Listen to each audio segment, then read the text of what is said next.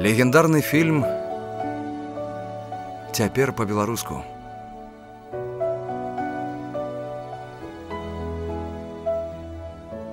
З 22 па 24 верасня.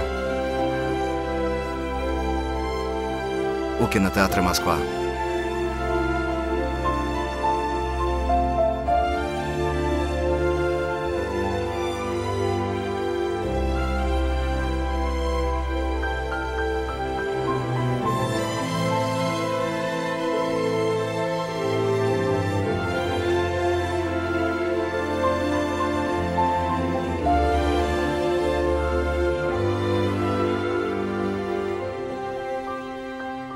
Форест Гамп.